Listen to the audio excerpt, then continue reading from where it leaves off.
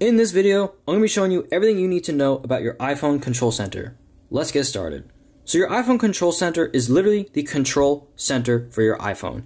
And there is so much more than just what Apple has stock added to the control center. Here's how you can customize it and get the most out of it so that way you can get the best iPhone Control Center experience possible. First things first, go to your iPhone settings and tap on the Control Center settings. Right here, you want to turn on access within apps.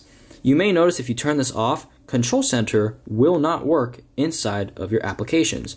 So if you turn this on, that means any app that you're in, you can go ahead and use the Control Center. Right here, where it says included controls, these are all the features that your iPhone has enabled in your Control Center. You can see that you can remove, you can move them around, and if you have nothing in there, you can go ahead and add whichever ones you want. So the alarm lets you add an alarm. Um, accessibility shortcuts, we'll get into that later. Um, you can add a calculator, you can add a quick toggle to your camera, you can add a QR code reader. Um, you can set an setting to enable dark mode, but I actually do not recommend this one because you can just hold down on the brightness and toggle your dark mode or night shift that way. Um, from here, you can turn on your flashlight.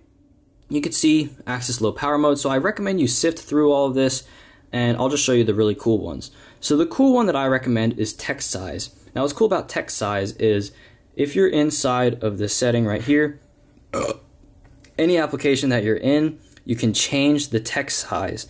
And if you toggle it for settings only, that means the text will only change for the settings app. Whereas if you set it to all apps, the text size all across your iPhone will change, even on the home screen. So if you want to quickly enlarge text on the messaging app or something, you can just quickly tap on that, change the text size. Very quick, unique toggle. You can also add a flashlight, which I highly recommend. Everyone has that enabled.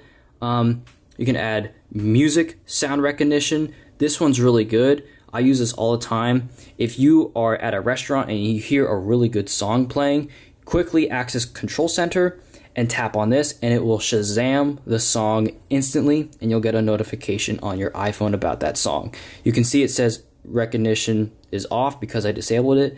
You can see it now says sound recognition on. Very useful iPhone trick. I highly recommend.